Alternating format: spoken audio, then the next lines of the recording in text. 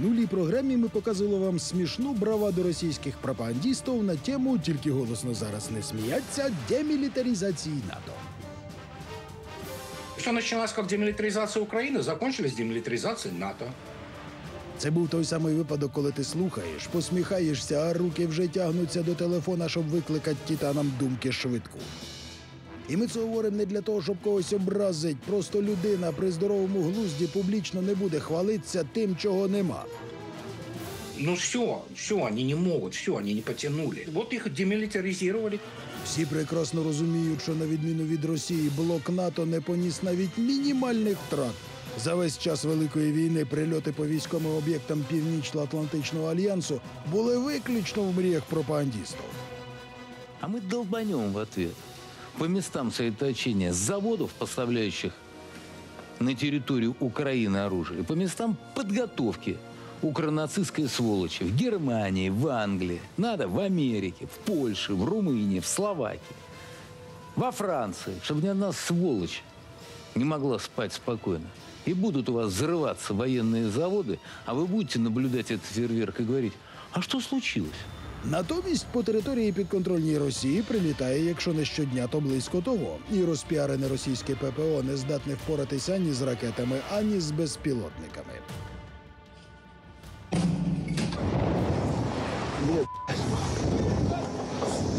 Твою мать. Це свіжий привіт одному із військових об'єктів в окупованому Луганську. Як бачите, для того, щоб прорвати всю систему протиповітряної оборони ядерної сміх держави, достатньо всього кількох крилатих ракет. Бля, спасибо, что жив на. Я его жив.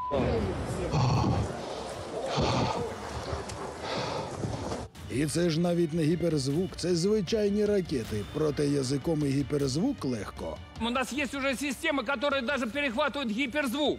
А на ділі весь світ сміється. Та й як же ж не сміяться, якщо крім ракет серйозною проблемою для Росії стають навіть не найшвидші безпілотники. Один із таких, наприклад, буквально шокував усім відомого Дона. Беспилотники впервые атаковали Чечню. Независимые чеченские СМИ пишут, что около 7 утра прогремело два взрыва. Кадиров останнім часом взагалі звик, що до Чечні прилітає виключно халявне бабло із Москви, а тут вибухи, пожежа. Та ще йде. Інститут спецназа в Гудермеся. Це ж гордість усього режима. В числе прочего, это заведение готовит участников боевых действий в Украине. СМИ называют его одним из крупнейших вербовочных пунктов в России. Кроме того, там производят беспилотники. С февраля 2024 года университет спецназа в Гундермесе носит имя Владимира Путина. До речі, саме сюди свого часу Рамзанчик запрошував вчити сіло Маска.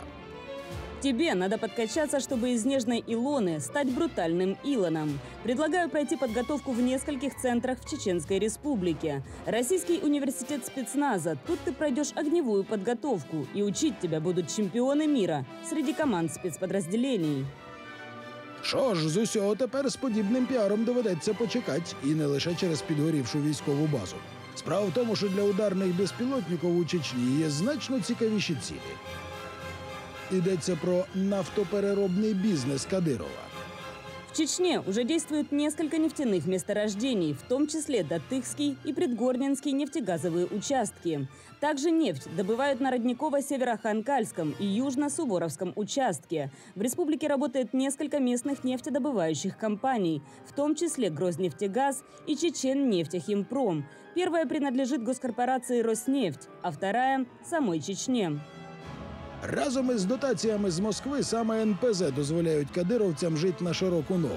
Тобто це не Аллах у тумбочку гроші кладе. Вас о чем не спросишь. Откуда деньги? Вы говорите от Аллаха. А ты докажи, что я Аллах. А цілком очевидно, звідки вони беруться. І якщо ударні дрони ЗСУ вже долітають і до Чечні, то маємо всі можливості трохи підкоригувати доходи Рамзанчика. З урахуванням імпульсивності Кадирова можна лише уявити, якою буде його істерика. Може навіть головнокомандувач російських телеграмних військ змінитись. Обязательно. Они нас укусили, мы их ну, уничтожим дома. А взагалі усі ці події говорять про те, що продовження війни обійдеться Путіну ну дуже дорого. І тут ми знову повертаємось до жалюгідної бравади пропагандістів. Де там наш улюбленець із сонячної Вірменії? Давай вже хвались перемогами, жалюгідний. все решается на передовой. Наши ребята, наши командиры, наши добровольцы, наши контрактники. Вот они решают сейчас судьбы мира где-то там, где-то там. Под Угледаром, под Купинском, под Северском и под Покровском. Перевище Кеосаян, доля галактики вирішується на менше. Західний світ просто дрижить від армії, яка збиралась взяти Донецьку область за два дні. до выхода на административные границы, причем как и э, Донецкой бывшей области, так и Луганской бывшей области, остались считанные дни. Натомість не може зробити цього вже майже три роки. Щоправда, зараз Кеосаян свіжий козир з рукава дістане. Так, так, друзі, окремим пропагандістам так і не прийшли нові методички, і вони продовжують публічні сеанси мозкового онанізму щодо участі у війні громадян Північної Кореї.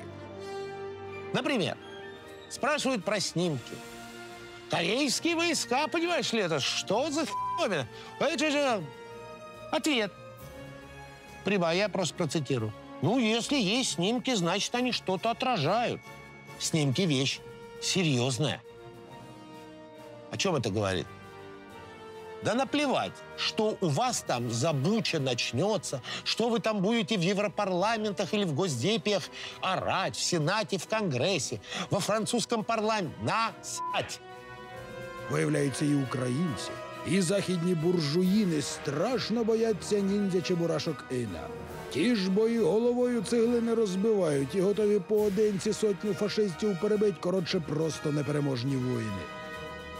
Зеленский кричит, что корейские солдаты уже сражаются на фронте и прибудет еще от 10 до 100 тысяч человек. Это ожидают в Киеве. И если посмотреть на телевидение Северной Кореи, то можно понять страх, с которым в Киеве ждут этих солдат. Могут и головой о стену, и голой спиной на стекло. В армии Северной Кореи и мужчины, и женщины сверхчеловеки. Ну, все, рятуйся, хто може. Нарвались ми з вами, друзі, на дуже серйозних супротивників. І головне ж управи ні на росіян, ні на корейців взагалі нема жодної. Зараз ось Кіосаян буде грізно трясти кулачком.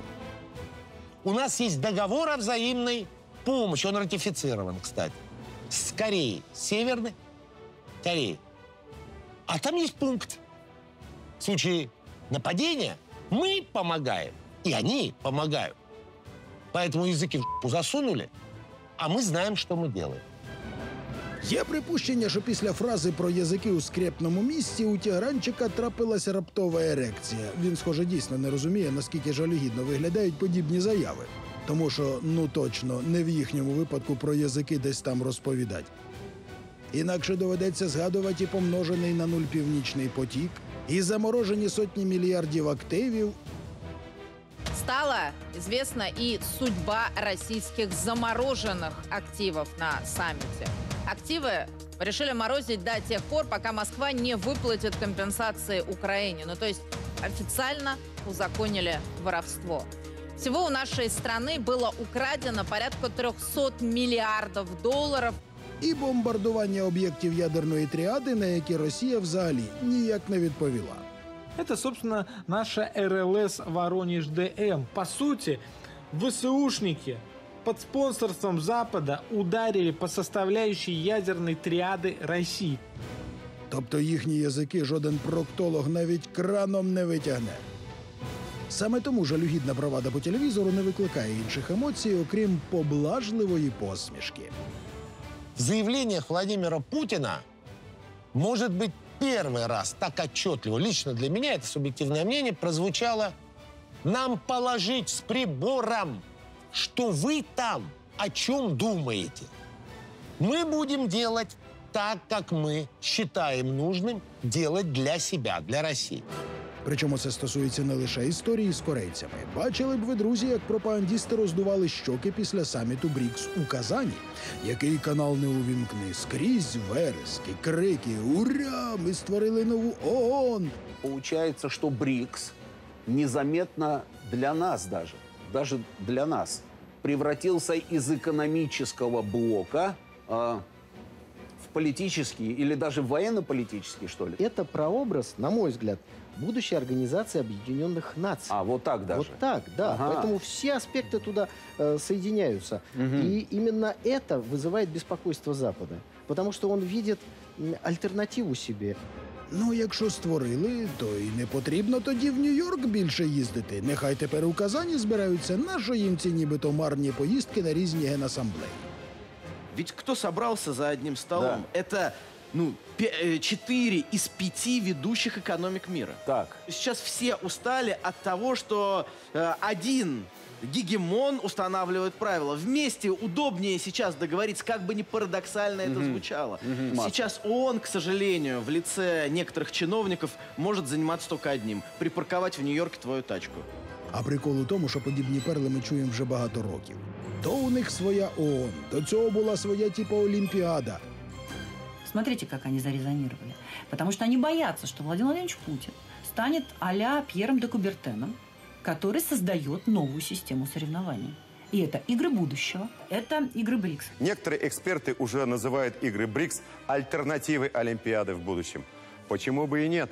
Будет англосаксонская Олимпиада, загнивающая Европы и Америки, и Олимпиада нового мира. Але і Китай, і Бразилія, і інші члени БРІКС чогось побігли в бездуховний Париж.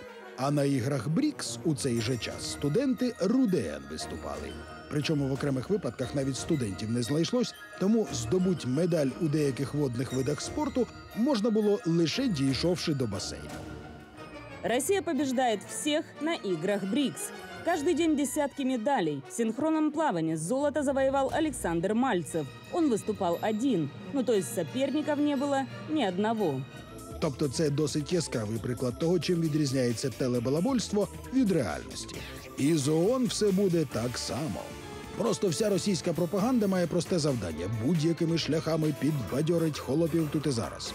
Сумує Ваня на дивані, а йому хоп і цілу пачку вологих історій про потужність БРІКС та провал заходу. мы больше не услышим слово «изоляция». Мы больше не услышим слово «международное осуждение». Мы больше не услышим вот эту формулировку, которая меня так раздражала еще в начале, в феврале 22 года, которую так полюбила вся наша либерота. Весь мир против России. Мы не против них, мы теперь без них. Без беса, так сказать. И нам как-то без него лучше. І ось уже щічки Вані червоніють не лише від випитої боярки. Викусі НАТО! кричить від душі зет-патріот. Я провела эту неделю, большую ее часть в Казани, разумеется. Сказать, что это было прекрасно, ничего не сказать. А еще хочется обратиться к нашим так называемым бывшим партнерам и сказать им «накося выкуси, накося выкуси». А ще Вані радісно від того, що Укри скоро начебто підпишуть капітуляцію. Та як же ж не підписувати, якщо виявляється, вже і армія Німеччини у бій вступила, а її вжухи перемололи. Крики німецькою на всю Курську область стояли. Солдаты Бундесвера, или как он у вас там называется, дохнут на Курской земле. Спросите Аптиароновича Алаудинова, там немецкая речь зафиксирована. Дохнут и будут дохнуть. Вся немецкая сволочь нацистская.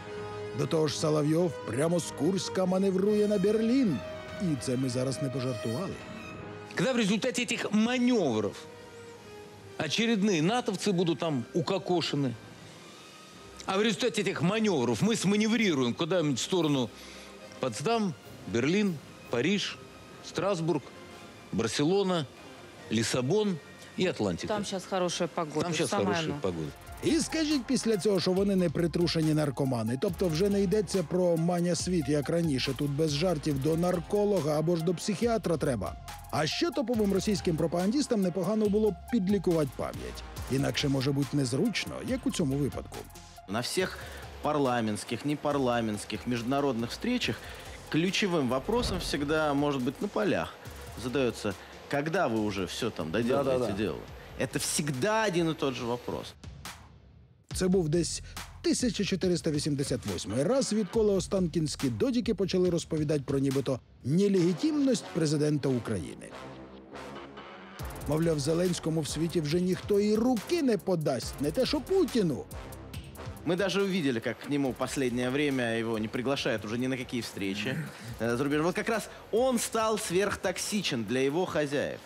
Он стал нерукопожатен. І тут ми могли б їх закошмарити новими зустрічами військово-політичного керівництва України з керівниками топових європейських країн. Однак набагато краще буде згадати видного члена БРІКС. Визит э, лидера Индии сегодня на Украину на фоне того, что творит Украина в Курской области, достаточно странное мероприятие. Певно, в РФ просто забули повідомить моді про свої хотілки щодо легітимності, да? Або ж навпаки, не забули.